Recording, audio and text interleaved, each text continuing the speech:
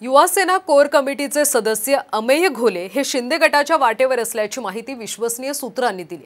आदित्य ठाकरेंचे निकटवर्ती असणारे अमेय घोले यांनी शिंदे गटात प्रवेश केल्यास आदित्य यांना मोठा धक्का मानला जातो. मुख्यमंत्री एकनाथ शिंदे यांनी अमेय घोले यांच्या घरी जाऊन बाप्पांचं दर्शन घेतलं होतं. अमेय घोले हे वडाळा विभागातून मुंबई महापालिकेत नगरसेवक म्हणून निवडून आले होते.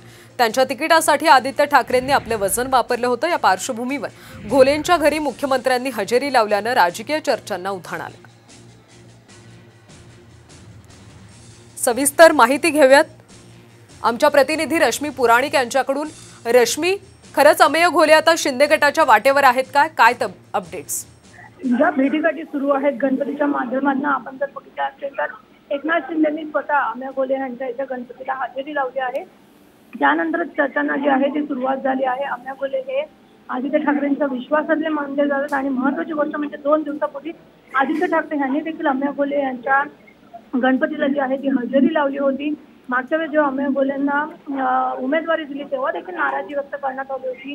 तरी आदित्य ठाकरे यांनी आपला विश्वास म्हणून त्यांना उमेदवारी दिली होती. परंतु आता अमेय गोले देखील शिंदे गटाच्या मार्गावर असल्याची चर्चा आहे. कारण गणपतीला स्वतः मुख्यमंत्र्यांनीच हजेरी लावली नक्कीच रश्मी धन्यवाद या माहितीसाठी. तर आदित्यांचे निकटवर्ती असलेले अमेय घोले आता शिंदे गटाच्या वाटेवर असल्याची माहिती मिळते.